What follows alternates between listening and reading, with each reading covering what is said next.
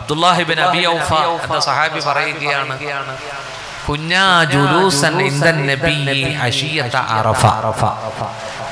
അറഫയുടെ ദിവസം അന്നത്തെ സായം സന്ധ്യയ്ക്ക് മുമ്പ് അസറിന് ശേഷം ഞങ്ങളും മുത്തുനബിയും കൂടി അറഫയിൽ സമ്മേളിച്ചിരിക്കുകയാണ്. അപ്പോൾ അള്ളാഹുവിന്റെ റസൂൽ പറഞ്ഞു അള്ളാഹുവിന്റെ റസൂൽ പറഞ്ഞു ഈ സദസ്സിൽ ആരെങ്കിലും കുടുംബ ബന്ധം വിച്ഛേദിച്ചവനുണ്ടെങ്കിൽ നമ്മിൽ നിന്നവർ എഴുന്നേൽട്ടു പോകട്ടെ. കുടുംബ ബന്ധം മുറിച്ചവൻ സ്വർഗാവകാശിയല്ല ആരെങ്കിലും ഉണ്ടെങ്കിൽ അവൻ എഴുന്നേറ്റു പോകട്ടെ. ആരും എഴുന്നേറ്റില്ല ഒരു സഹാബി എഴുന്നേറ്റു. ആ സദസ്സിന്റെ മൂലയിലിരുന്ന ഒരു സഹാബി എഴുന്നേറ്റു. കുറച്ചു സമയം കഴിഞ്ഞപ്പോ ആ സഹാബി തിരിച്ചു വന്നു. അള്ളാഹുവിന്റെ റസൂൽ ചോദിച്ചു എല്ലാവരും ഇരുന്നപ്പോ നീ എഴുന്നേറ്റ് പോയത് എന്തിനാണ് എന്ന് ചോദിച്ചപ്പോ അള്ളാഹുവിന്റെ റസൂലെ അവിടെ നിന്ന് പറഞ്ഞത് ഞാൻ കേട്ടു. സമയത്തു കൗലക്ക അവിടെ നിന്ന് പറഞ്ഞത് ഞാൻ കേട്ടു. കാനലി എനിക്കൊരു മാതൃ സഹോദരി ഉണ്ടായിരുന്നു തുസാരി മുനി. ഞാനും അവരും പിണക്കത്തിലായിരുന്നു.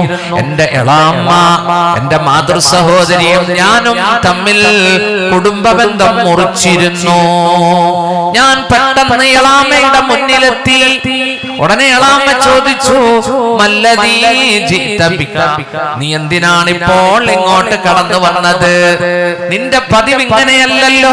നീ വരാതിരിക്കുന്നവനാണല്ലോ. ഇപ്പോൾ ഈ സദസ്സിലേക്ക് വന്നത് എന്തുകൊണ്ടാണെന്ന് ചോദിച്ചപ്പോ അള്ളാഹുവിന്റെ ഹബീബേ അവിടെ നിന്ന് പറഞ്ഞ ഹദീസ് ഞാൻ അവരെ പറഞ്ഞു കേൾപ്പിച്ചു. എന്റെ എളാമ എനിക്ക് വേണ്ടി പൊറുക്കലിനെ തേടി ഞാൻ അവർക്ക് വേണ്ടിയും പൊറുക്കല്ല തേടി. ഇത് പറഞ്ഞപ്പോ അള്ളാഹുവിന്റെ റസൂൽ പറഞ്ഞു അഹസൻത അഹസൻത നീ നല്ല കാര്യമാണ് ചെയ്തത് ഇജ്ലിസ്. ഈ സദസ്സിൽ ഇരുന്നാലും. എന്നിട്ട് അവിടെ നിന്ന് ലോകത്തോട് പറഞ്ഞു ലാ റഹ്മത്തു അലാ ഖൗമിൻ ഫീഹിം ഖാതിഉ റഹ്മിൻ. കുടുംബ ബന്ധം മുറിച്ചവന്നിരിക്കുന്ന സദസ്സിൽ അള്ളാഹുവിന്റെ റഹ്മത്ത് ഇറങ്ങുന്നതല്ല. പടച്ചോൻ കാക്കട്ടെ ഈ സദസ്സിൽ കുടുംബ ബന്ധം കുറിച്ച് ആരെങ്കിലും ഉണ്ടോ എന്ന് കൈപൊക്കിക്കെ? വാക്കട്ടെ. വാക്കട്ടെ ഉണ്ടെങ്കിൽ അവർ എഴുന്നേറ്റ് പോയി. ആരോടാണോ മുറിച്ചത് അവരുമായി പൊരുത്തപ്പെടി മുട്ടാറില്ല ആരും ഇല്ല കേട്ടോ. എല്ലാവരും ഒറ്റക്കെട്ട. അല്ലേ അൽ മുഅ്മിനുനിൽ മുഅ്മിനി മുഅ്മിൻ പരസ്പരം കൽബുനിയാൻ കെട്ടിടം പോലെയാണ്. ഫശബ്ബക ബൈന അസ്വാബിഇ മുത്തുനബി അവിടത്തെ വിരലുകൾ കോർത്തു പിടിച്ചു വിരലുകൾ കോർത്തു പിടിച്ചു. അല്ലാഹു വെറുപ്പില്ലാത്ത വിദ്വേഷമില്ലാത്ത നല്ല മനസ്സിന്റെ ഉടമകളാക്കി തരട്ടെ. ഈയിടെ ഒരു പെണ്ണുങ്ങളോട് ഞാൻ ചോദിച്ചു എന്താപ്പാ ആണുങ്ങളോട് ഇത്ര വെറുപ്പ്? ആങ്ങളമാരെന്താ കാണാത്തത്? ഓനെ രണ്ടു നില വീട് പണിത്. ഓനെ കാറ് വാങ്ങിച്ച്. അപ്പൊ പെങ്ങക്ക് ആങ്ങളോട് അസൂയ വരാൻ കാരണം രണ്ടു നില വീട് പണിതും കാറ് വാങ്ങിച്ചതും അള്ളാഹുവെ ആ പെങ്ങക്കും അതുപോലെ വലിയ വീടും കാറും കൊടുക്കണേ അല്ലോ എന്ന് ഞാൻ ചെയ്യുവാ. ചെയ്യുക അപ്പോ എല്ലാത്തിന്റെയും പിന്നിൽ എന്താ? എന്താ? എന്താ? ഹസദാണ്. ആ ആ. ഇസ്തഈനു അലാ ഖളാഇ ഹവായിജികും ബിൽ കിത്മാൻ നിങ്ങളുടെ ആവശ്യങ്ങൾ നേടിയെടുക്കാൻ നിങ്ങൾ അല്പം മറച്ചു വെക്കണം എന്ന് മുഹമ്മദ് മുസ്തഫ. വിദേശത്ത് പോകാൻ ആഗ്രഹിക്കുമ്പോൾ തന്നെ തുറന്ന് പറയരുത്. പാസ്പോർട്ട് എടുക്കണം. അതിന്റെ കോപ്പി അങ്ങോട്ട് അയക്കണം. അപ്പോ വിസ വരും. തഅ്ശീറ വരും. എന്നാലും പറയരുത് ആരോട്. നോക്കൂ ട്രാവൽ ഏജൻസിയെ കണ്ട് ടിക്കറ്റ് ബുക്ക് ചെയ്യണം. ഒരു ദിവസം തീരുമാനിക്കണം. ഉസ്താദിനോട് പറഞ്ഞ് ഇനി നിങ്ങൾക്ക് പറയാം. എന്നാലും പാരപണിയുന്നവരുണ്ട്. ഇവനെ അങ്ങനെ കടൽ കടത്താൻ പറ്റൂല. നിന്നെ നീ പോന്നൊന്ന് കാണണോടാ എന്ന് പറയുന്നു.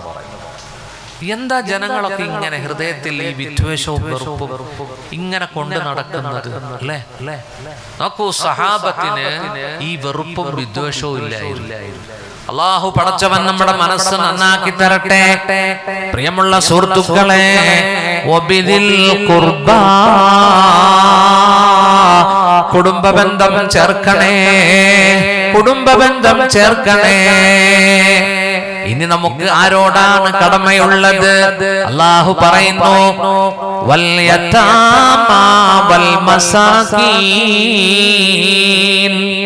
കുടുംബ ബന്ധം ചേർത്ത് കഴിഞ്ഞാൽ ഇനി നമുക്ക് സമൂഹത്തിലെ രണ്ട് വിഭാഗത്തോട് കടമയുണ്ട്. ആരാ ആരാണ് രണ്ട് വിഭാഗം? ഒന്ന് അനാഥകളാണ് യത്തീമാണ് മറ്റൊന്ന് മിസ്കീനാണ്. അഗതികൾ പാവങ്ങൾ. യത്തീമും മിസ്കീനും.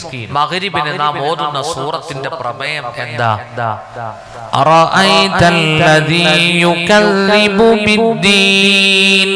നബിയെ അവിടെ നിന്ന് കണ്ടുവോ? അള്ളാഹുവിന്റെ ദീനിനെ കളവാക്കിയവനെ. ആരാണ് ദീനിനെ കളവാക്കിയവൻ?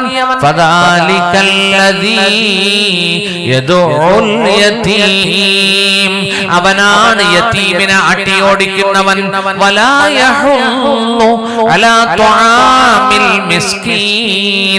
അഗതിക്ക് ഭക്ഷണം കൊടുക്കാൻ പ്രേരിപ്പിക്കാത്തവനാണ്. മുസല്ലീൻ അൻ സ്വലാത്തിഹിം സാഹൂൻ. എന്നിട്ട് അല്ലാഹു പറഞ്ഞു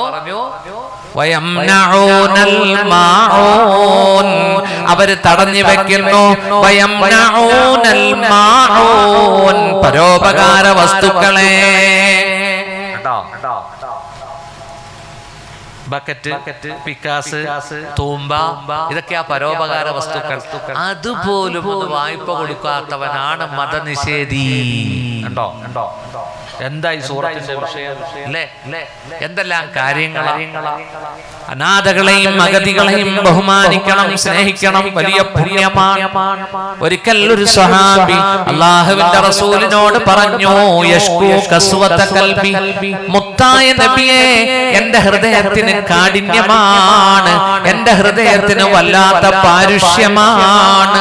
അപ്പോൾ അള്ളാഹുവിന്റെ റസൂൽ പറഞ്ഞു നിന്റെ ഹൃദയത്തിന്റെ കടുപ്പം മാറും ആർദ്ര മനസ്കനാകും നീ യതീം നീ യതീമിനോട് കരുണ കാണിക്കണം. യതീമിന്റെ ശിരസ് നീ തലോടി കൊടുക്കണം. നിന്റെ ഹൃദയം വിശാലമാകുമെന്ന് മുഹമ്മദ് മുസ്തഫ. അവിടെന്ന് പറഞ്ഞു നിങ്ങൾ യതീമിന്റെ കരച്ചിൽ സൂക്ഷിച്ചോ. അത് നിഷയുടെ നിശബ്ദതയിൽ നിശീധിനിയുടെ ഇരുട്ടത്ത്. അത് കയറിപ്പോകും. ജനങ്ങൾ ഉറങ്ങുമ്പോ ജനങ്ങൾ ഉറങ്ങുമ്പോ അനാഥ മക്കളുടെ വിലാപം കയറിപ്പോകും. ഹലറത്തുൽ ഖുദ്സിയയിലേക്ക്. കണ്ടോ? യതീമുകളെ പീഡിപ്പിക്കരുത്. ഹൈറു ബൈത്തിൽ മുസ്ലിമീന ബൈത്തുൻ ഫീഹി യതീമുൻ യുഹ്സനു ഇലൈ. മുസ്ലിം ഭവനങ്ങളിൽ ഏറ്റവും നല്ല ഭവനം യതീമിനോട് കരുണ കാണിക്കുന്ന ഭവനമാണ്. വശറു ബൈത്തിൽ മുസ്ലിമീന ബൈത്തുൻ ഫീഹി യതീമുൻ.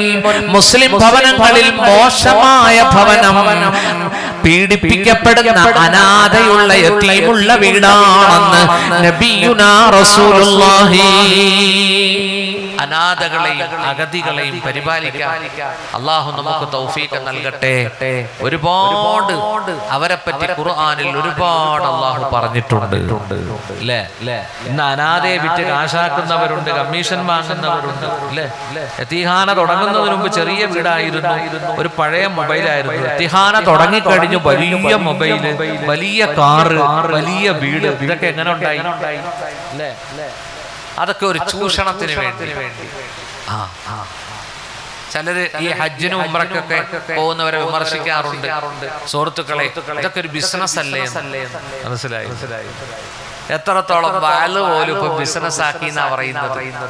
അള്ളാഹു കാക്കട്ടെ നേരിട്ട് വിളിച്ചാൽ കിട്ടൂല. ഏജന്റ് വേണം കമ്മീഷൻ വേണം ഡിമാൻഡ്സുകൾ. അല്ലേ? എന്തൊരവസ്ഥയാണ്? എന്തൊരവസ്ഥയാണ്? അതുകൊണ്ട് തന്നെ അതുകൊണ്ട് തന്നെ ഇന്നത്തെ വാളും ഉത്ബോധനങ്ങളും ഒന്നും ജനഹൃദയങ്ങളെ സ്വാധീനിക്കുന്നില്ലല്ലോ. സ്വാധീനിക്കുന്നില്ലല്ലോ. ഒരു തരം കച്ചവട മനോഭാവം. അള്ളാഹു പടച്ചവൻ ചിന്തിക്കാൻ തൗഫീക്ക് നൽകട്ടെ. സുഹൃത്തുക്കളെ പാവങ്ങളെ സഹായിക്കണം. പച്ച പാവങ്ങളെ. അനാഥകളെ എവിടെ എത്തീമിനെ കണ്ടാലും നിങ്ങൾ ആ കുഞ്ഞിന്റെ തലയിൽ ഒന്ന് കൈവച്ചൊന്ന് തലോടി കൊടുക്കൂ. ആ കുഞ്ഞ് അനാഥനല്ല അവൻ സനാഥനാണ് എന്ന് ബോധ്യപ്പെടുത്തി. അള്ളാഹു തൗഫീക്ക് നൽകട്ടെ. സുഹൃത്തുക്കളെ ഞാൻ എന്റെ വീട്ടിൽ ഒരു ബോക്സ് വെച്ചിട്ടുണ്ട്. എന്റെ കുഞ്ഞുങ്ങൾക്ക് പനി വന്നാൽ ജലദോഷം വന്നാൽ ഞാനൊരു നൂറ്റൊന്ന് രൂപ ആ ബോക്സിലേക്ക് നിക്ഷേപിക്കും. അള്ളാഹുവിന്റെ തൗഫീക്ക് കൊണ്ട് ഇതുവരെ റഹ്മാനും റഹീമുമായ റബ്ബ് വലിയ രോഗങ്ങളൊന്നും വിട്ടിട്ടില്ല. അള്ളാഹു കാക്കട്ടെ. അനാഥകളുടെ ബർക്കത്ത് കൊണ്ട് അവരുടെ ദുആ ബർക്കത്ത് കൊണ്ട് അള്ളാഹു നമ്മൾക്ക് ആരോഗ്യം തന്നനുഗ്രഹിക്കട്ടെ. ഈ സദസ്സിൽ ആർക്കെങ്കിലും എന്തെങ്കിലും രോഗങ്ങൾ ഉണ്ടെങ്കിൽ ആ രോഗം അള്ളാഹു ശിഫയാക്കി തരട്ടെ.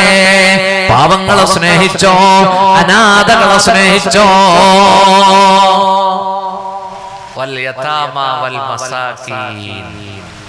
നോക്കൂ ആ ചാർട്ട് ഇനി കടന്നു വരുന്നത് അയൽവാസികളിലേക്കാ. അയൽവാസികളോട് നമുക്ക് കടമയുണ്ട്.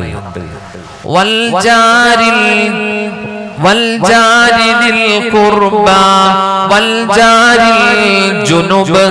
അള്ളാഹു പറയുന്നു കുടുംബ ബന്ധമുള്ള അയൽവാസികളോട് കടമയുണ്ട്.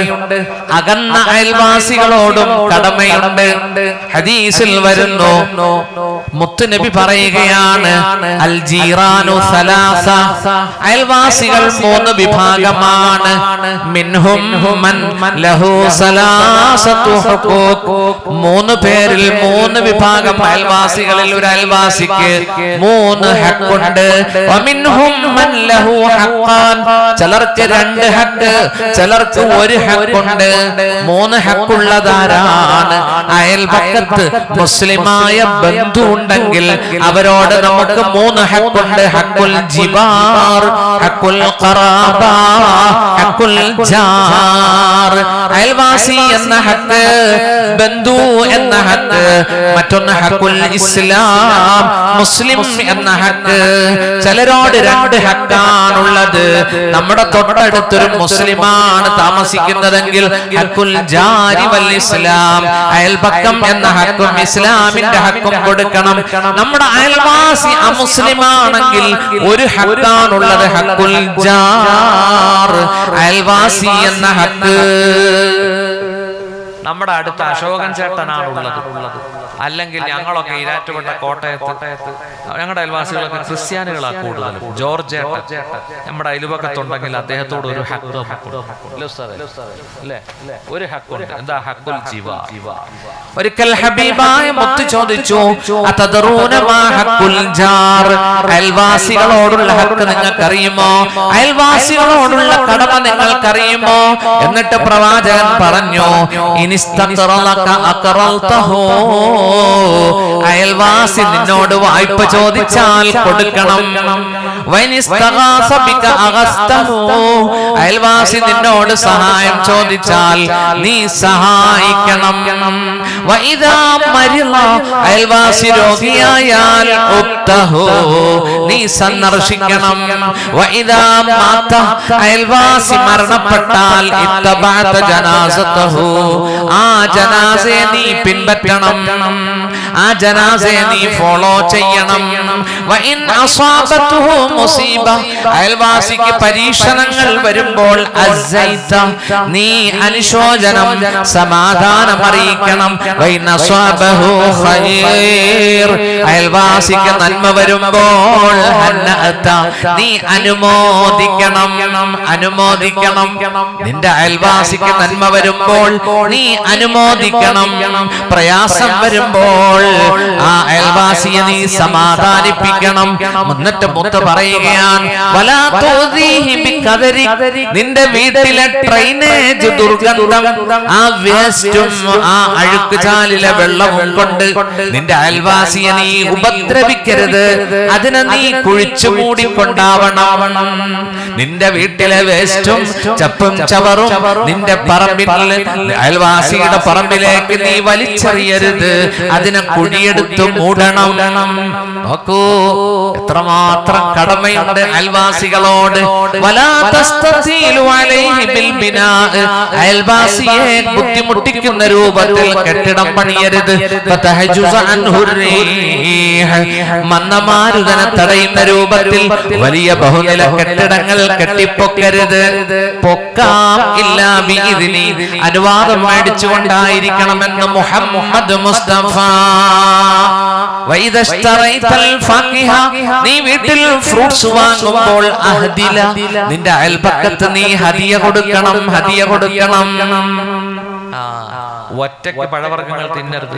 അയൽപക്കത്തെ കുഞ്ഞുങ്ങൾ അവിടെ നോക്കി നമ്മൾ രണ്ട് കിലോ ആപ്പിൾ മൂന്ന് കിലോ ഓറഞ്ച് ഒക്കെ ആയിട്ട് വരും. അയൽപക്കത്ത് ആ മക്കൾക്ക് കൊടുക്കണം സുഹൃത്തുക്കളെ. എന്താ അല്ലേ? ഈ കടമകളൊക്കെ പാലിച്ചാണോ ജീവിക്കുന്നത്? ആണോ ആണോ? ഹബീബെ ഇറച്ചി മേടിച്ചാൽ അയൽവാസിക്ക് പരിഗണന കൊടുക്കണമെന്നോട് പറഞ്ഞു പ്രവാചകൻ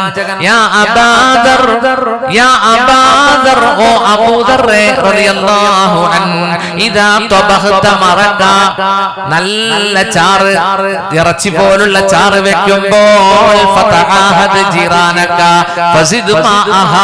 അതിന്റെ ചാറ് വെള്ളം കൂട്ടി വെച്ചുകൊണ്ട് അയൽവാസിയെ പരിഗണിക്കണമെന്ന് പഠിപ്പിച്ച മുഹമ്മദ് മുസ്തഫ. ആരാ റസൂലുള്ള? ആ നബിയുടെ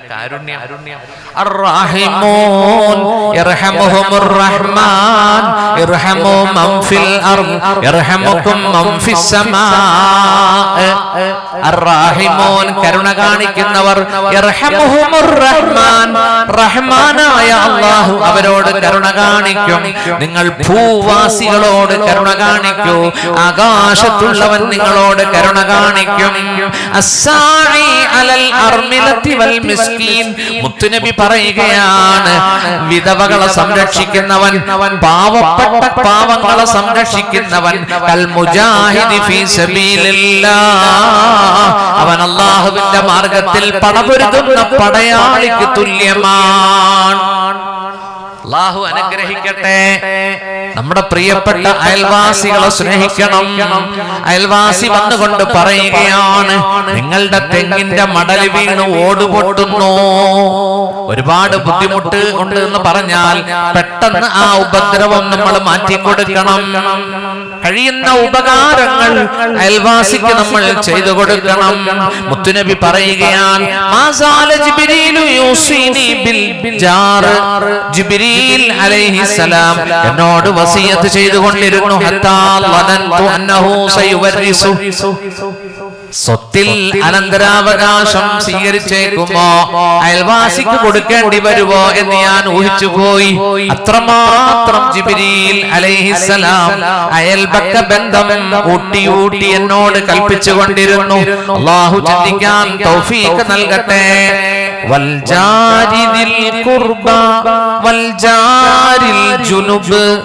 അയൽപക്കത്തുള്ള അടുത്ത ബന്ധുക്കൾക്കും നിങ്ങൾ കൊടുക്കണം.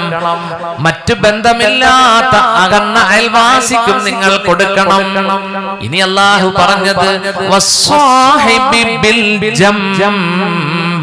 പാർശ്വവർത്തിയായ കൂട്ടുകാരനോട് കടമയുണ്ട്.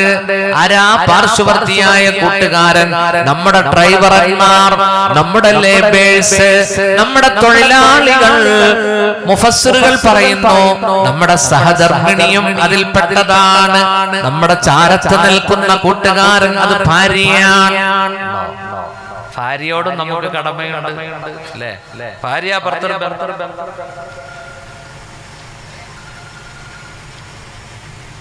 ഭാര്യ ഭർത്തൃ ബന്ധത്തെ കുറിച്ച് പറയാൻ ഒരു ദിവസം അല്ലെ? അല്ലേ?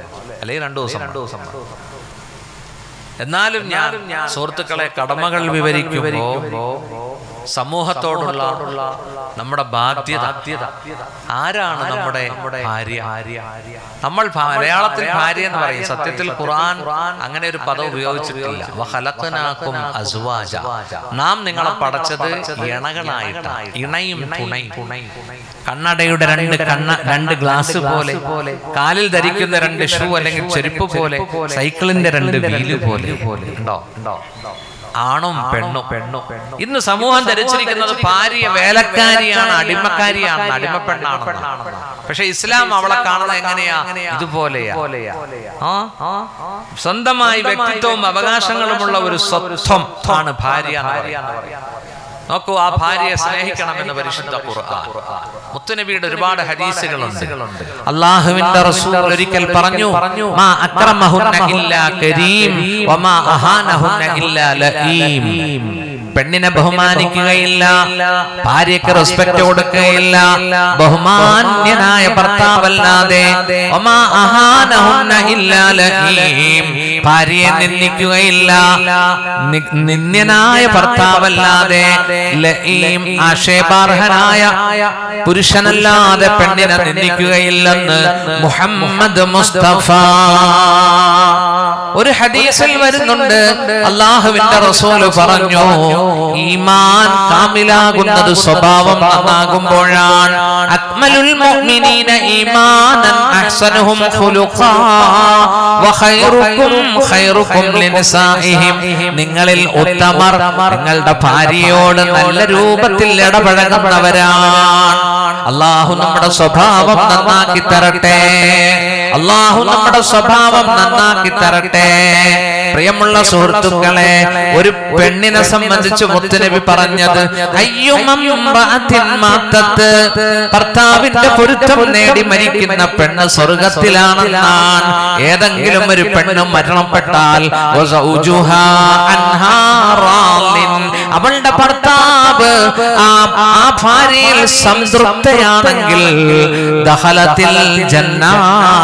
അവൾ സ്വർഗത്തിലാണെന്ന് നബിയുനാ റസൂലുള്ളാഹി.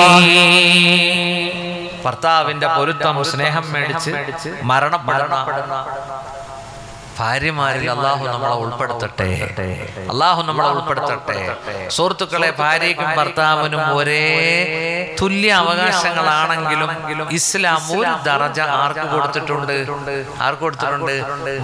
റിജാലി അലൈഹിന്ന ദറജ. ഒരു പദവി ആണുങ്ങൾക്ക് അള്ളാഹു കൊടുത്തിരിക്കുന്നു. കുടുംബം എന്ന സ്ഥാപനത്തിന്റെ ചെയർമാൻഷിപ്പ് അള്ളാഹു കൊടുത്തിരിക്കുന്നത് ആണുങ്ങൾക്കാണ് അത് അടക്കി ഭരിക്കാൻ വേണ്ടിയല്ല. പിന്നെ സ്ഥാപനം കുടുംബം എന്ന സ്ഥാപനം മുന്നോട്ട് പോകണമെങ്കിൽ അതിന്റെ കമാൻഡിങ് ആരുടെ കയ്യിൽ വേണം? ആരുടെ കയ്യിൽ വേണം? കയ്യില? അല്ല കയ്യിൽ. ഓ താത്താടെ കയ്യിലെങ്ങാനും കൊടുത്ത പിന്നെ അവളെ എപ്പം പോകുന്നു എപ്പം വന്ന് കയറുന്നു എന്ന് പറയാൻ പറ്റൂല. അല്ലേ? ആ ആ. الرجال قوامون على النساء بما فضل الله بعضهم على بعض وبما أنفقوا من أموالهم فالصالحات قانتات حافظات للغيب بما حفظ الله പുരുഷന്മാരാണ് الرجال قوامون على النساء സ്ത്രീകളുടെ കൈകാര്യകർത്താക്കൾ ബിമാ ബഅലഹും അവരിൽ ചിലരെ ചിലരെക്കാൾ അല്ലാഹു ശ്രേഷ്ഠരാക്കി. കണ്ടോ? കണ്ടോ ആണും പെണ്ണും അല്ലാടെ സൃഷ്ടികളാണെങ്കിലും പെണ്ണിനേക്കാൾ ഒരു പദവി ആണുങ്ങൾക്കാണ് അള്ളാഹു കൊടുത്തത്. തലയിലെ മുടി എണ്ണി നോക്ക്. ആണുങ്ങൾക്ക് കൂടുതൽ പെണ്ണുങ്ങൾക്ക് കുറവാണ്. സുഹൃത്തുക്കളെ കാലിന്റെ വിരൽ മുതൽ മുതൽ കൈ വിരൽ വരെ പെണ്ണ് പെണ്ണാണ്. പുരുഷൻ പുരുഷനാണ്. പുരുഷനും പൗരുഷവും സ്ത്രീക്ക് സ്ത്രീണതയും കൊടുത്തവനാണ് അള്ളാഹു. അതുകൊണ്ട് അള്ളാഹു തല പെണ്ണുങ്ങളോട് പറഞ്ഞില്ലേ യാ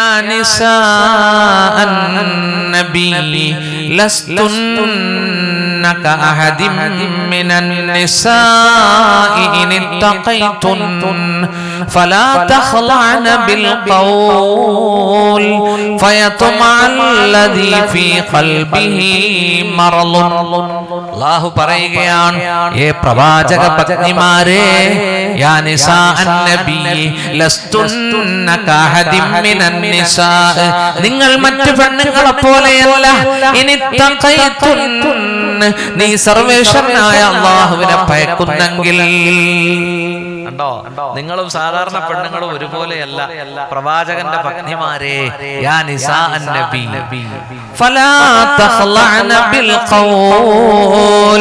നിങ്ങൾ വാക്കുകൊണ്ട് കൊഞ്ചിക്കൊഴയരുത് നിങ്ങൾ വാക്കുകൊണ്ട് മിതത്വം കാണിക്കണം.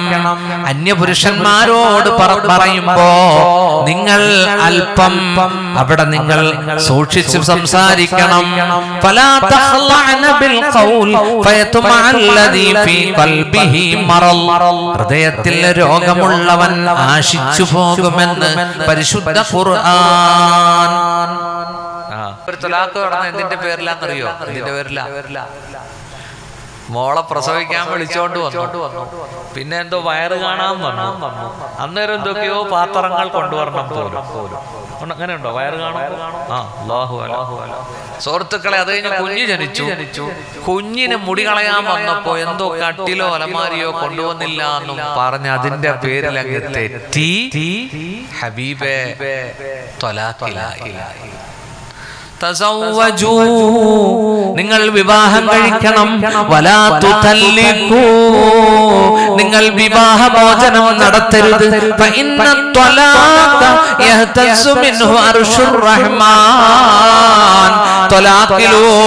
അള്ളാഹുവിന്റെ അർശ് വിറയ്ക്കുമെന്ന് മുഹമ്മദ് മുസ്തഫ.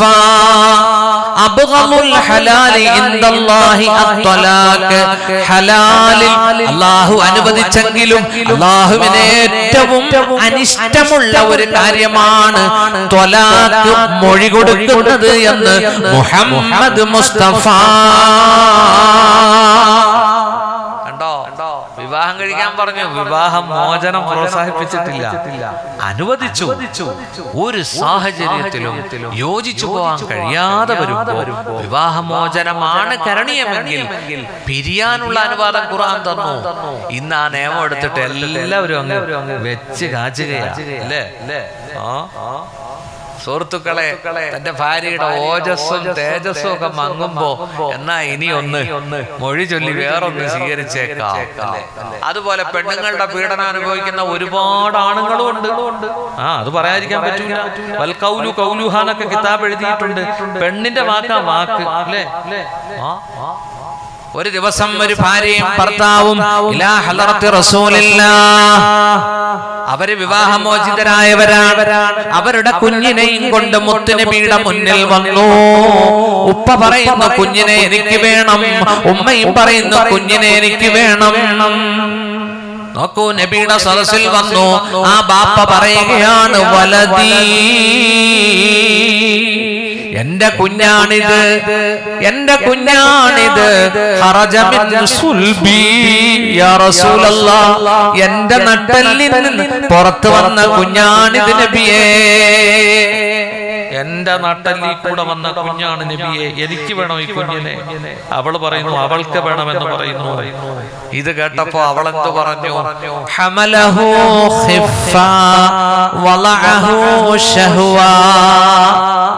നബിയെ അങ്ങനെയല്ല. ഇയാൾ ഈ കുഞ്ഞിനെ ചുമന്നത് ഒരു വെയിറ്റും സഹിച്ചല്ല. നട്ടലിലൊന്നും ആ ഭാരമൊന്നും അയാൾ അനുഭവിച്ചിട്ടില്ല. ഇയാൾ ഈ എന്നിലേക്ക് നിക്ഷേപിച്ചത് വികാരത്തോടു കൂടിയാണ് നബിയെ. എന്നാൽ ഞാനോ ഹമൽ കുർഹാ വവളഅതുഹു കുർഹാ وأرضعته حولين كاملين ഞാൻ ഈ കുഞ്ഞിനെ ഞാനാണ് ഗർഭം ധരിച്ചത് ബുദ്ധിമുട്ട് സഹിച്ച് ഞാനാണ് ബുദ്ധിമുട്ട് സഹിച്ച് പ്രസവിച്ചത് ഞാൻ രണ്ട് കൊല്ലം അമ്മിഞ്ഞ പാലും കൊടുത്തു നബിയേ അള്ളാഹുവിന്റെ റസൂൽ ഇതെല്ലാം കേട്ടിട്ട് രണ്ടുപേരുടെ മുഖത്ത് നോക്കിയിട്ട് ഒരു തീരുമാനം എടുത്തു എന്താണ് ആ തീരുമാനം പറ പറ ഒരു കിസ് അല്ലേ എന്താണ് തീരുമാനം കുഞ്ഞിനെ മുറിച്ചിട്ട് പാപ്പച്ചിക്കും അമ്മച്ചിക്കും കൊടുത്തു? ഓരോരോ പീസ് പീസ് അള്ളാഹുന്റെ റസൂൽ തീരുമാനമെടുത്തു. ആ കുഞ്ഞിനെ ആർക്ക് കൊടുക്കാൻ ആർക്ക് കൊടുക്കാൻ ഉമ്മയ്ക്ക് കൊടുക്കാം. സുഹൃത്തുക്കളെ അങ്ങനെ ഇമ്മത്ത് മസല എഴുതി ഇതുപോലുള്ള പ്രശ്നങ്ങൾ വരുമ്പോൾ ആൺകുട്ടിയാണെങ്കിൽ ഏഴു വയസ്സുവരെ ഉമ്മയ്ക്ക് വളർത്താം. പെണ്ണാണെങ്കിൽ ഒൻപത് വയസ്സുവരെ തള്ളയ്ക്ക് വളർത്താം. അത് കഴിഞ്ഞ് ഈ ഭർത്താവ്.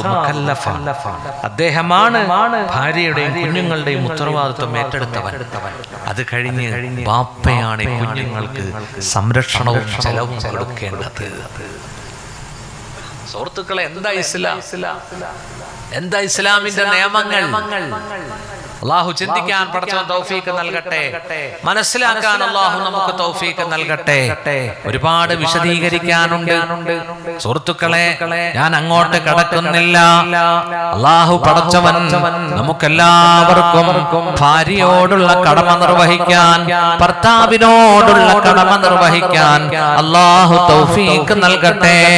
നമ്മുടെ കുടുംബ ജീവിതത്തിൽ അള്ളാഹു തൗഫീക്ക് നൽകട്ടെ. പ്രിയപ്പെട്ട പ്രിയതമനെ സ്നേഹിക്കണം. അള്ളാഹുവിന്റെ റസൂൽ പറഞ്ഞു നല്ല പെണ്ണ് ഒരു പെണ്ണാണ്. ഭർത്താവ് നോക്കുമ്പോൾ ഭർത്താവിനെ സന്തോഷിപ്പിക്കുന്ന പെണ്ണ്. അമർത്തഹാ കൽപ്പിക്കുമ്പോൾ അനുസരിക്കുന്നവൾ നല്ല പെണ്ണാണ്.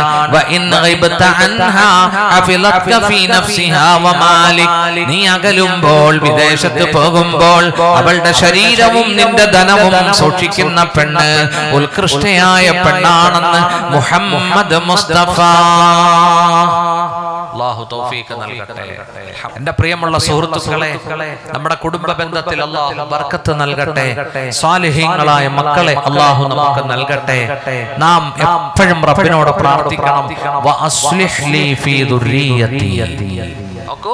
ഖുറാന്റെ ദ്വായാണ് സൂറത്തുൽ അഹ്കാഫിൽ അങ്ങനെ ഒരു ദ്വാ ഉണ്ട്. നമ്മൾ ദ്വാ ചെയ്യുന്നുണ്ടോ? മക്കൾക്ക് വേണ്ടി ദ്വാ ചെയ്യണം. നമ്മുടെ പൊന്നു മക്കൾക്ക് വേണ്ടി. رب أوزعني أن أشكر نعمتك التي أنعمت علي അള്ളാഹുവേ നിന്റെ നിഅമത്തുകൾക്ക് ശുക്ർ ചെയ്യാൻ തൗഫീഖ് നൽകണമേ أن أشكر نعمتك التي أنعمت علي وعلى والدي എനിക്കും എൻ്റെ മാതാപിതാക്കൾക്കും നീ ചെയ്ത നിഅമത്തുകൾക്ക് ശുക്ർ ചെയ്യാൻ وأن أعمل صالحا ترضاه നീ പെ- പൊരുത്തപ്പെടുന്ന സുഹൃതങ്ങൾ സൽക്കർമ്മങ്ങൾ ചെയ്യാനും തൗഫീക്ക് നൽകണമേ വഅസ്ലിഹ് ലീ ഫീ ദുർരിയതി എന്റെ സന്താനങ്ങളെ നീ നന്നാക്കി തരണമേ ഇന്നി ഇലൈ ഞാൻ നിന്നിലേക്ക് പശ്ചാത്തപിക്കുന്നു തമ്പുരാനേ. നമ്മുടെ ദ്വായിൽ നമ്മുടെ കുഞ്ഞുങ്ങളെ നമ്മൾ ഉൾപ്പെടുത്തണം. മനസ്സിലായില്ലേ?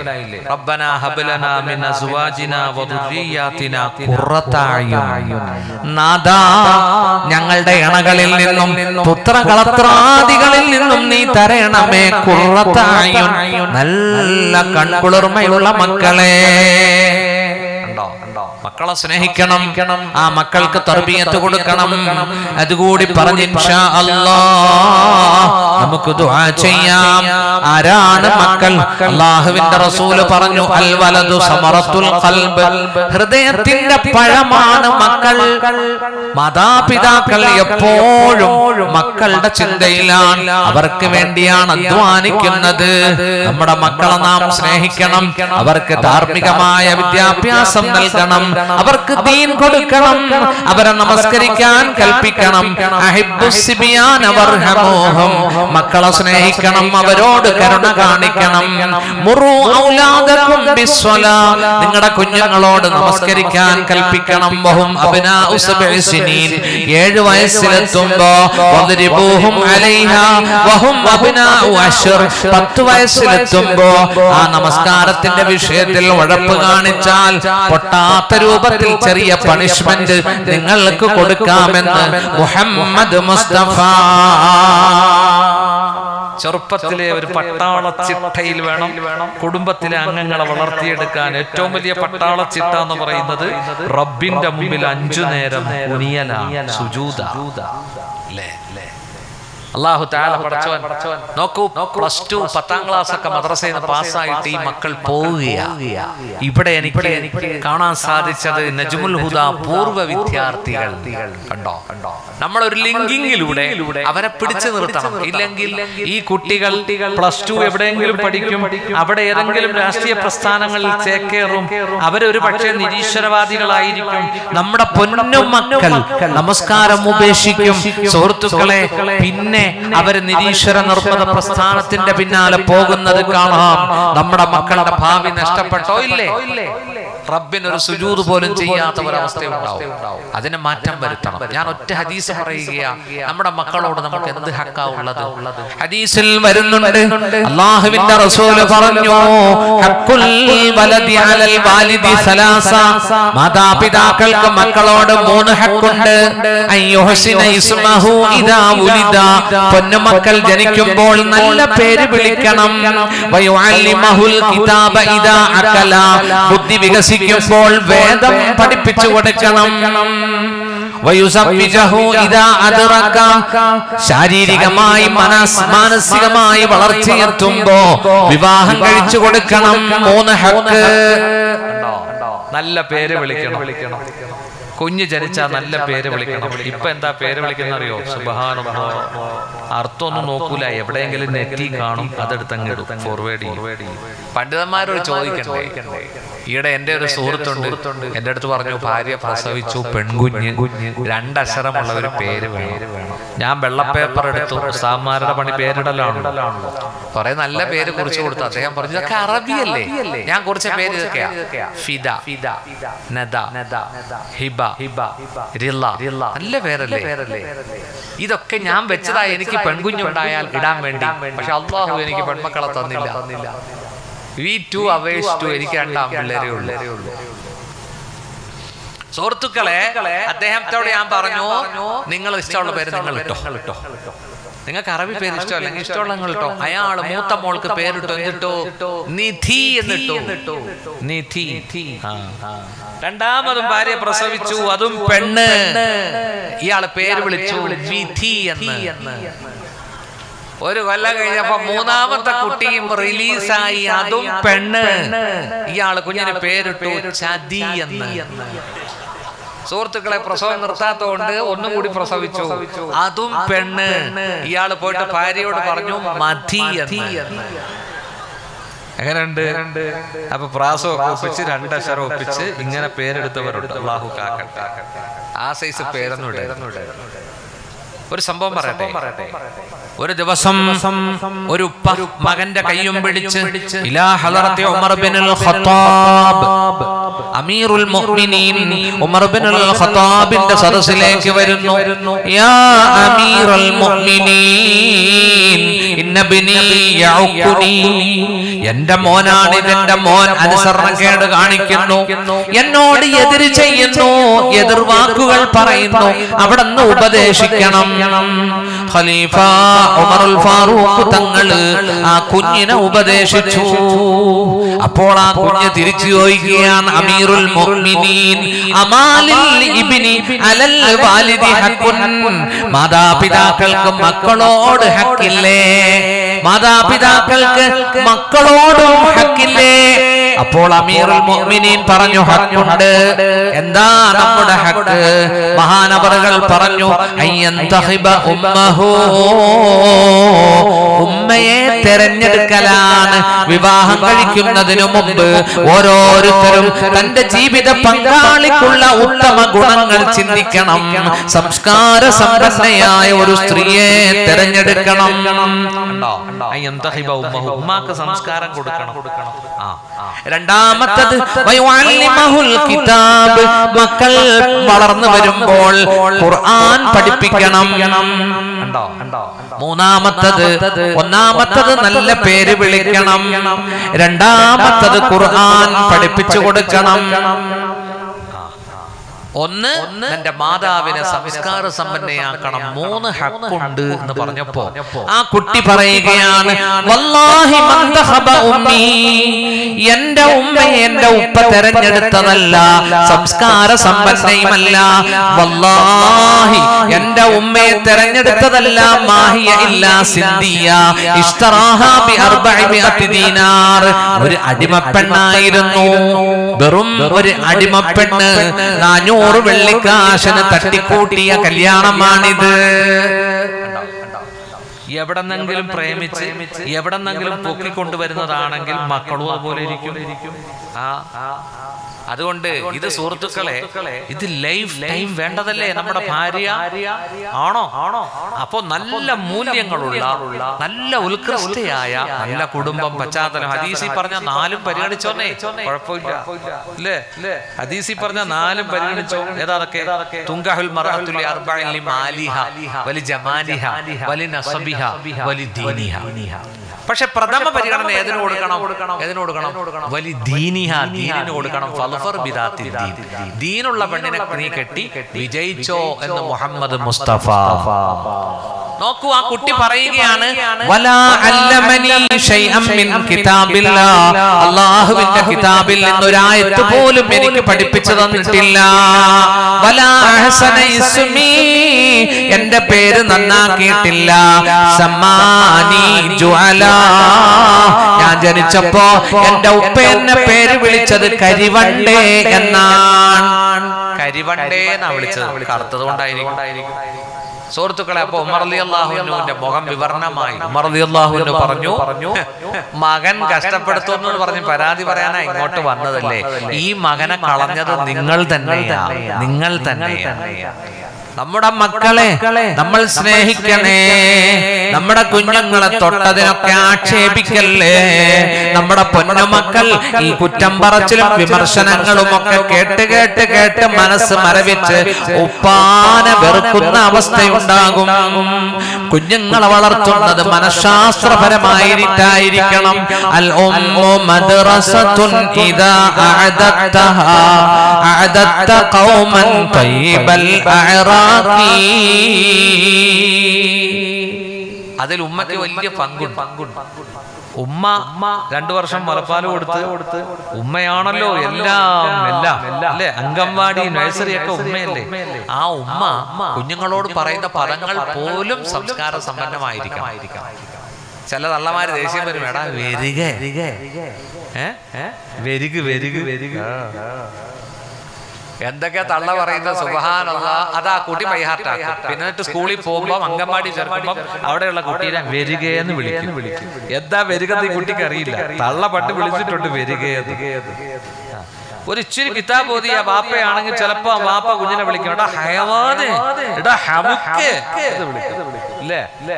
വസ്താദന്മാർക്ക് എപ്പോഴും പറയാൻ പറ്റുന്ന രണ്ട് വാക്കായിരുന്നു ഹയവാനും പടച്ചൊക്കെ ആക്കുമാറാവട്ടെ സുഹൃത്തുക്കളെ നമ്മുടെ കുഞ്ഞുങ്ങളോടുള്ള ഹക്ക് നമ്മൾ പാലിക്കണം. അള്ളാഹു നമ്മുടെ മക്കളെ പുറത്തു അയിനാക്കി തരട്ടെ. സുഹൃത്തുക്കളെ വൽ ബിൽ ജംബ് വബിനി സബീൽ വമാ മലക്കത്ത് ഐമാനുക്കും. വഴിയാത്രക്കാർ പാവങ്ങൾ മുസാഫിറുകൾ. അവരോട് നമുക്ക് ഹക്കുണ്ട്. ലിസാഇലി ഹക്കുൻ. യാചകന് ഹക്കുണ്ട്. വലൗ ജാഅല ഫറസിൻ. അയാൾ കുതിരപ്പുറത്താണ് വന്നതെങ്കിലും യാചകന് കൊടുക്കണമെന്ന് മുഹമ്മദ് മുസ്തഫ. ഒരിക്കൽ ഒരു സഹാബി മുത്തുനബിയുടെ മുന്നിൽ വന്നു യാചിച്ചു. കൈ നീട്ടി. അപ്പോൾ പ്രവാചകൻ ചോദിച്ചു അമാഫി ബൈത്തിക ഷൈഉൻ നിന്റെ വീട്ടിൽ വല്ലതുമുണ്ടോ? ആ സഹാബി പറഞ്ഞു യുവാവാൻ ഹിൽസുൻ വ കഅബുൻ ഒരു പുതപ്പുണ്ട് കപ്പുമുണ്ട്. അത് രണ്ടും കൊണ്ടുവരാൻ പറഞ്ഞു. എന്നിട്ട് നബി തിരുമേനി കയ്യിൽ പിടിച്ചിട്ട് ചോദിച്ചു ഇത് രണ്ടും ആര് വിലക്കെടുക്കും? ഒരു സഹാബി പറഞ്ഞു ഒരു ദിർഹമിന് ഞാൻ എടുത്തോളാം. വീണ്ടും മുത്തനബി ചോദിച്ചു ലേലം വിളിക്കുന്നതിന് ഈ ഹദീസാണ് തെളിവുള്ളത്. ആരാണ് ഒന്നിലധികം തരാൻ? ഒന്നിലധികം തരാൻ? ആരുണ്ട് എന്ന് ചോദിച്ചപ്പോ ഒരു സഹാബി പറഞ്ഞു രണ്ട് ദിർഹമിന് ഞാൻ ഇതെടുത്തോളാം അള്ളാഹുവിന്റെ റസൂൽ സല്ലല്ലാഹു അലൈഹി വസല്ലം ആ പുതപ്പും ആ കപ്പും ആ സഹാബിക്ക് കൊടുത്തു കൊടുത്തു എന്നിട്ട് പറഞ്ഞു പറഞ്ഞു രണ്ട് ദിർഹം. എന്നിട്ട് ഒരു ദീർഹം ഈ സഹാബി കൈനീട്ടി വന്ന യാചകനായ സഹാബിയോട് പറഞ്ഞു ഒരു ദീർഹം കൊടുത്തിട്ട് പറഞ്ഞു ഇഷ്തരി ബിഹി. നീ ഒരു കോടാലി പഠിച്ചുകൊണ്ട് ഒരു ദീർഹം കൊണ്ട് നീ ഭക്ഷണം വാങ്ങിച്ച് വീട്ടിൽ കൊടുക്ക് എന്നും എന്നും കോടാലി കൊണ്ടുവന്നു. അതിന്റെ കൈ. ഹബീബായ മുത്ത് അതിന് കൈയിട്ട് ഉറപ്പിച്ചു കൊടുത്തു. എന്നിട്ട് അവിടെ നിന്ന് പറഞ്ഞു ഇത് ഹബ് നീ പോകണം കാട്ടിലേക്ക് വിറക് വെട്ടണം. വലാ അറയന്നക ഹംസത അശറ അയ്യാം. പതിനഞ്ച് ദിവസം നിന്നെ കാണരുത് ഞാൻ. പതിനഞ്ച് ദിവസം കഴിഞ്ഞ് വന്നേക്കണം. വന്നേക്കണം. പതിനഞ്ച് ദിവസം കഴിഞ്ഞ് വന്നു വിറകൊക്കെ വെട്ടി വിറ്റു. പത്ത് ദിർഹമുമായിട്ട് ഇലാ ഹലറത്ത് റസൂലില്ല. അപ്പൊ അള്ളാഹുന്റെ റസൂൽ പറഞ്ഞു ആ വാക്ക് മനസ്സിൽ കുറിച്ചിട്ടോ. എന്താ പറഞ്ഞത്? ഹാദാ ഇതാണ് ഉത്തമം കരണീയം. യാചന നിന്റെ മുഖത്ത് കറുത്ത പാടുകൾ സൃഷ്ടിക്കും. ഒരു ഹദീസിലുണ്ട് നാളെ ഖയാമത്ത് നാളിൽ വരുമ്പോ മുഖത്ത് ഇറച്ചി കാണില്ല. കൈ നീട്ടുന്നവർ യാചിക്കുന്നവർ. അള്ളാഹുവേ ഞങ്ങളെ നീ കാത്തുകൊള്ളണേ അല്ലാ അള്ളാഹു തന്ന സമ്പത്ത് പാവങ്ങൾക്കും മുസാഫിറുകൾക്കും നോക്കൂ പണ്ടൊക്കെ നമ്മുടെ പള്ളിയിൽ മുത്താലിമിങ്ങൾ വന്നിരുന്നു. അഹലുബൈത്ത് വന്നിരുന്നു. റമലാനിൽ അവർക്ക് നാം കളക്ഷൻ എടുത്തു കൊടുത്തിരുന്നു നോമ്പ് തറ കൊടുത്തിരുന്നു. ഇന്ന് അതെല്ലാം നമുക്കൊരു പഴങ്കഥയാണ്. നാം വരുന്നവരെ. വളരെയധികം മോശമായി വീക്ഷിക്കുന്നു. ആ നല്ല സ്വഭാവത്തിലേക്ക് പോകണം. പാവങ്ങളെ സഹായിക്കണം. അള്ളാഹു എനിക്കും നിങ്ങൾക്കും തൗഫീഖ് നൽകട്ടെ. എന്നിട്ട് അള്ളാഹു പറഞ്ഞു ഈ കടമകളും ബാധ്യതകളും അള്ളാഹു അവതരിപ്പിച്ചിട്ട് നമ്മളോട് പറയുകയാണ്. ഇന്നല്ലാഹ ലാ യുഹിബ്ബു മൻ കാന മുഖ്താലൻ ഫഖൂറാ പൊങ്ങച്ചക്കാരനായ കിബിർ നടിക്കുന്നവനെ അള്ളാഹു സ്നേഹിക്കുന്നതല്ല. അള്ളാഹു നമ്മുടെ ഹൃദയത്തിൽ നിന്ന് ഈഗോ നമ്മുടെ ഹൃദയത്തിൽ നിന്ന് പൊങ്ങച്ചം അള്ളാഹു മാറ്റിത്തരട്ടെ. അഹങ്കരിക്കരുത് സുഹൃത്തുക്കളെ. പാവങ്ങളെ സഹായിക്കണം. ഒത്തൊരുമയോടെ ജീവിക്കണം. ഐക്യത്തോടെ മുന്നോട്ട് പോകണം. അവസാനമായി ഒരു ഹദീസ് കൂടി പറയട്ടെ. മുത്തുനബി പഠിപ്പിച്ചു. മർലാ അത്അഇമുത്ത്വആം നിങ്ങൾ ഭക്ഷണം ഭക്ഷിപ്പിക്കണം രോഗിയെ സന്ദർശിക്കണം രോഗികളെ സന്ദർശിക്കണം. നിങ്ങൾ അന്നദാനം നൽകണം. തടവറയിൽ കിടക്കുന്നവരെ തടവിൽ നിന്നും മോചിപ്പിക്കണം. രോഗികളെ കാണണം. എന്തിനാ? എന്തിനാ? റബ്ബ് ചെയ്ത അനുഗ്രഹം ഓർമ്മ വരും. രോഗികളെ കാണുമ്പോ അല്ലേ? അല്ലേ? ആ? ആ? അള്ളാഹു താല നിങ്ങൾ ആരെങ്കിലും രോഗികളെ കാണാറുണ്ടോ? നമ്മുടെ ജില്ലാ ആശുപത്രിയിലും മെഡിക്കൽ കോളേജിലൊക്കെ പോകണം. എന്താ സുഹൃത്തുക്കളെ? നോക്കൂ അത് മുത്തനബിയുടെ സുന്നത്താണ്. അള്ളാഹുവിന്റെ ഹബീബായ മുത്തിന്റെ സുന്നത്താണത്. സ്വഹാബാക്കളിൽ ഉമറുൽ ഫാറൂഖ് തങ്ങൾ നിഷയുടെ നിശബ്ദതയിൽ രോഗികളെ സന്ദർശിച്ചിരുന്നു. ഒരു ദിവസം അമീറുൽ മുഅ്മിനീൻ ഉമറുൽ ഫാറൂഖ് റളിയല്ലാഹു അൻഹു വേഷപ്രച്ഛന്നനായി മദീനയുടെ പ്രാന്തപ്രദേശത്ത് കൂടി പോവുകയാണ്. ഇത് കണ്ടു റളിയല്ലാഹു അൻഹു ഉമർ ഒരു ചെറ്റക്കുടിൽ ചെന്ന് കയറുന്നു. അടുത്ത സുപ്രഭാതം അൻഹു. ആ വീട്ടിലേക്ക് ചെന്നു കയറി രാത്രി കടന്നു വന്നത് എന്തിനാണെന്ന് അറിയാൻ ആ രംഗം തഴവ ഉസ്താദ് പാടുന്നു ഒന്ന് പാടാം. അറിയോ? അറിയോ? ഒന്ന് പാടിയ പനനാര് കൊണ്ട് വരിഞ്ഞു കോർത്തൊരു കട്ടിലിൽ പഴമുണ്ടു മൂടിയ കിഴവി രോഗമിലുണ്ടതിൽ നിങ്ങൾക്കു സേവനം ചെയ്യുവാനാരുണ്ട്. അതിനുത്തരം എനിക്കെന്റെ സൃഷ്ടാവുണ്ട്. രോഗത്തിലായി കിടപ്പായ നാൾ മുതലിന്നും വരും രാത്രിയിൽ ആരോ ഒരാളടുത്തെന്നും. തൊൽഹത്ത് ചെന്ന് നോക്കുമ്പോ ഈത്തപ്പനക്കയർ കൊണ്ടുണ്ടാക്കിയ കട്ടിലിൽ ഉമാമ ചുരുണ്ട് കിടക്കുന്നു. ആരാ നിങ്ങളെ നോക്കുന്നത്? എന്റെ അല്ല എന്നെ നോക്കുന്നു മറുപടി പറഞ്ഞു. എന്നിട്ട് പറയുകയാണ് രോഗത്തിലായി കിടപ്പായ നാൾ മുതലിന്നും വരും രാത്രിയിൽ ആരോ ഒരാളടുത്തെന്നും കഷ്ടിച്ച ചട്ടിയെടുത്തവർ നീക്കുന്നതാ. ശുദ്ധീകരിച്ചത് പിന്നെയും വയ്ക്കുന്നതാ സന്തോഷമുള്ള കലാമുകൾ പറയുന്നതാ. സന്താപമെല്ലാം നീങ്ങുവാനുതകുന്നതാ. പൊതിയൊന്നെടുത്തവർ ഭക്ഷണം നൽകുന്നതാ. സുബഹാന റബ്ബി തൽക്ഷണം മടങ്ങുന്നതാ. ഇത് കേട്ടിട്ട് തൊൽഹത്തറിയാഹുന്ന് തരിച്ചുപോയി. എല്ലാ ദിവസവും കടന്നു വരുന്ന വ്യക്തി ചെയ്യുന്ന ജോലി കണ്ടില്ലേ? മലവും മൂത്രവും നീക്കി കൊടുക്കും. പൊതിയെടുത്ത് തുറന്ന് ഭക്ഷണം കൊടുക്കും. അല്ലേ? ആരാണത്? ആരാത് ആ. കിസ്രാപനിക്കും കൈസറും വിറയ്ക്കുന്നതാ. മിസ്രിൽ മുഖൗകിസ് കേട്ടുടൻ ഞെട്ടുന്നതാ.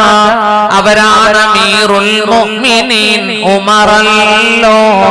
ജനസേവകന്മാർക്കുള്ളിമാമാണല്ലോ പിന്നീട് ഇപ്പം വന്ന രാഷ്ട്രീയക്കാരൊക്കെ സുഹൃത്തുക്കളെ കുടിലിൽ ചെന്ന് കയറി ദാലും ചപ്പാത്തിയൊക്കെ തിന്നും ഹരിജനങ്ങളുടെ കുടിലൊക്കെ ചെന്നിട്ട് അത് ഉമർദിയാഹുവിന്റെ സുന്നത്താണത്. മനസ്സിലായില്ലേ? ഇവർ പോകുന്നത് വോട്ടിന് വേണ്ടിയാ. അല്ലേ? അള്ളാഹു പടച്ചവൻ രോഗികളെ സന്ദർശിക്കാൻ ആശ്വസിപ്പിക്കാൻ അള്ളാഹു തൗഫീക്ക് നൽകട്ടെ. ഈ കടമകൾ സുഹൃത്തുക്കളെ മുഖ്യമായിട്ടും കുടുംബ ബന്ധം ചേർക്കുക അയൽവാസിയോടുള്ള കടമകളൊക്കെ നമ്മൾ പാലിക്കണം. അള്ളാഹു പടച്ചവൻ നമ്മുടെ ജീവിതത്തിൽ ബർക്കത്ത് നൽകട്ടെ. പരസ്പരം സഹായിക്കണം. നോക്കൂ നമ്മുടെ യാത്ര പറഞ്ഞ M I Shanavas M P വയനാടിന്റെ എം പി അള്ളാഹു അദ്ദേഹത്തിന് പുറത്തു കൊടുക്കട്ടെ. സുഹൃത്തുക്കളെ അദ്ദേഹത്തിന് കരൾ കൊടുത്തത് സ്വന്തം മോളാണ് മുൻ കലക്ടർ മുഹമ്മദ് ഹനീഷിന്റെ സഹധർമ്മിണിയാണ്. അദ്ദേഹത്തിന്റെ മകളാണ് സുഹൃത്തുക്കളെ ഞാൻ രണ്ടു മൂന്നാഴ്ച വെള്ളിയാഴ്ച അവയവദാനത്തെ കുറിച്ച് സംസാരിച്ചു. പള്ളിയിൽ. പള്ളിയിൽ. നമുക്ക് ദാനം ചെയ്യാൻ അനുവാദമുള്ളത് ഒന്നേ ഒന്ന് മാത്രം. ബ്ലഡ് രക്തം. അത് ശരീരത്തിൽ വളരുന്നത് കൊണ്ട് സുഹൃത്തുക്കളെ നമുക്കത് ദാനം ചെയ്യാം. ഒന്നാമത് ദാനം ചെയ്യാൻ പാടില്ല എന്ന് പറയാൻ കാരണം നമുക്ക് മിൽക്കിയത്തില്ല. നമുക്ക് ഉടമസ്ഥാവകാശമില്ല. ഉണ്ടോ? ഉണ്ടോ? നമ്മുടെ കണ്ണിൽ നമുക്ക് ഉടമസ്ഥാവകാശം ഉണ്ടോ നമ്മുടെ കിഡ്നിയിലുണ്ടോ? നമ്മുടെ കരളിലുണ്ടോ? സുഹൃത്തുക്കളെ ബ്ലഡ് ഒരാളുടെ ദേഹത്തിൽ ഒരു അഞ്ച് ലിറ്റർ ബ്ലഡ് ഉണ്ടോ? അഞ്ചര അല്ലെങ്കിൽ ആറ്? ആറ്. ആ ബ്ലഡ് നമുക്ക് ദാനം ചെയ്യാം. വിൽക്കാൻ പാടില്ല. വിൽക്കാൻ പാടില്ല. ഇതേ പറ്റി നമ്മുടെ ആയിരക്കണക്കിന് വർഷം ആയിരം വർഷങ്ങൾക്ക് മുമ്പ് നമ്മുടെ ഷാഫി മദഹബിലും മറ്റേ അയിമത്ത് അർബ നാല് മാമ്യങ്ങളും ഒക്കെ എത്ര സുന്ദരമായിട്ടാണ് മസ്- മസാലകൾ എഴുതി വെച്ചിരിക്കുന്നത്. അള്ളാഹു സുബാനഹു ചിന്തിക്കാൻ തൗഫീക്ക് നൽകട്ടെ. ചിന്തിക്കാൻ അള്ളാഹു തൗഫീക്ക് നൽകട്ടെ.